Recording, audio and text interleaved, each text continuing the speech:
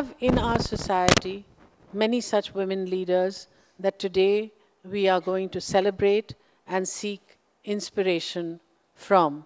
And I'm very happy to be presenting the awards to some of them.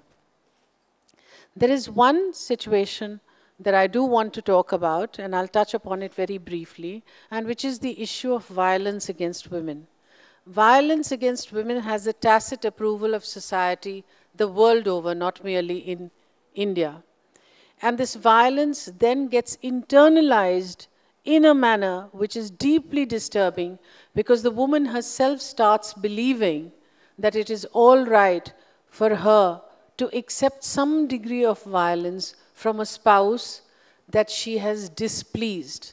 This again comes from internalizing a patriarchal mindset. And this is something that we have to raise our children, our daughters, and our sons to understand that this is wrong, that there is to be zero tolerance for violence, particularly against the girl and the woman.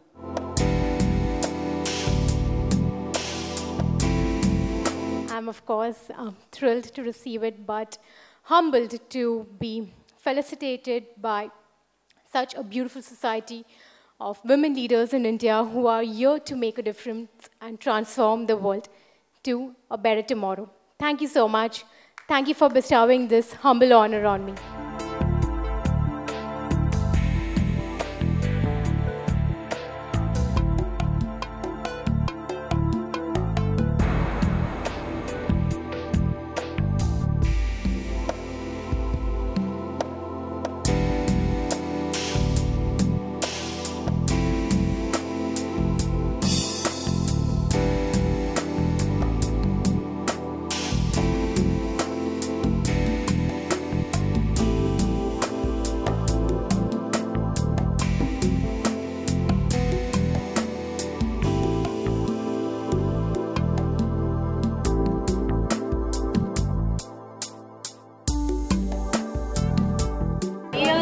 हमेशा छाए रहते हैं तो आप कभी कभी notice करते हो बट दैट्स नाइस ये definitely lovely show by I I global I am really thankful कि उन्होंने ऐसा शो रखा है।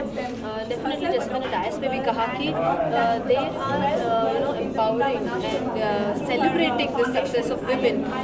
So i feel it's uh, should not be just uh, minimized to urban ladies. ये इंटीरियर्स तक भी जाना चाहिए। इतने lovely ladies we have they doing such wonderful work तो उन सबको भी यहाँ तक हमारे बीच लाना चाहिए।